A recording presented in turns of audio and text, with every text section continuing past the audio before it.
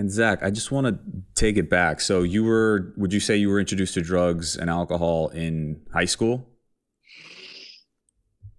Yeah, it was. I would say probably like sixth grade. You know, Sixth at a grade. Christmas party, Christmas party, a couple older guys like threw me a beer and I drank it, and you know, Gotcha. And when did you like along your journey? journeys? Obviously, that was like in middle school, and then you talked about being 27. Like, at what point did you feel like, okay, I definitely have an issue? It's funny you ask Bryan because I, I kind of everyone's got a different experience, right? Kind of Yeah. like their moment of clarity, and uh, you know, for me, I don't think I knew.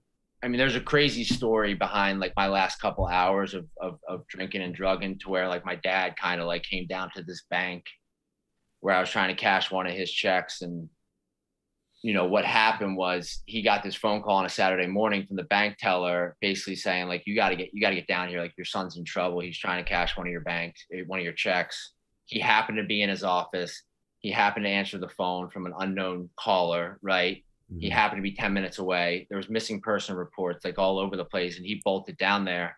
And for me like that moment that you're asking about is when he walked into that bank and kind of put his arm on my arm. He's like son we're going home i felt something in that moment that hmm. i like to this day I just got goosebumps. right i can't describe it something left me and that's when i knew like all right this life i'm done with this life and he walked me out and the two guys that i was running around two drug dealers were sitting outside the bank and i kind of like waved to them they knew they saw it you know and that was the beginning of like you know my second my second life. yeah Yeah. Wow, I love that. Th- th- thank you for that. so the bank teller story it's it's it's it's my greatest story in life and so what what happened was, you know, I go, I get sober, I start this whole new life in New York City. I don't really think about that moment. I mean, I talk about it a lot because it was my like moment of clarity.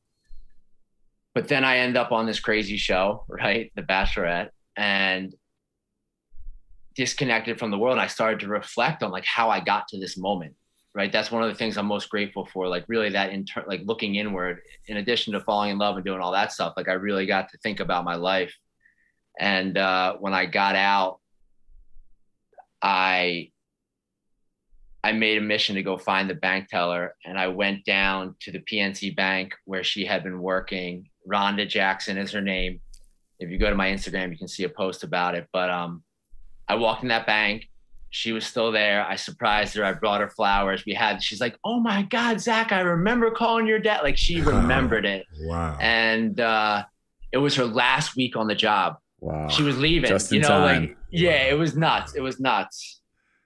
I love that, bro. That's oh insane. my god, Yeah, this is cool. I'm getting like, I really she have like helped helped all saved you in a sense, man. That's that's incredible, man.